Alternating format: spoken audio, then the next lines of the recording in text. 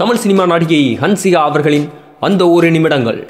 அதாவது ஹன்சிகா அவர்களையே மிகவும் சந்தோஷத்துக்கும் பூரிப்புக்கும் உள்ளாக்கி இருக்கும் அந்த ஒரு நிமிடங்கள் என்னவென்று பார்த்தீர்கள் என்றால் அவரை ஃபேஸ்புக்கில் அறுபது லட்சம் பேர் ஃபாலோ செய்கின்றார்கள்.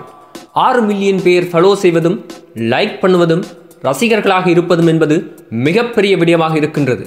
உயர்ந்த முன்னணி நடிகர்களுக்கே இந்த வாய்ப்பு எட்டி இருக்கின்றது இப்பொழுது ஹன்சிகா அவர்களுக்கும் இந்த வாய்ப்பு எட்டி இருப்பதை எண்ணி அவர் மிகவும் சந்தோஷம் அடைந்திருக்கின்றார் ஆனால் சமீப காலத்தில் ஹன்சிகா அவர்களை திரையில் பார்ப்பது மிகவும் அற்பமாக இருக்கின்றது. ஹன்சியா அவர்கள் இறுதியாக நடித்த படம் இந்த படம் அந்த படம் அப்படி என்று யோசிக்கும் பொழுது பல படங்கள் முன்னால் சென்றுதான் அவர்களுடைய பிரபஞ்சமான படமே ஞாபகத்துக்கு வருகின்றது. இது குறித்து ஹன்சியா அவர்கள் மனம் திறந்து கூறும் பொழுது கூறியிருக்கின்றார் கோடிக்கணக்கில் பணம் பெற்றுக்கொள்வது பெரிய விடயமல்ல.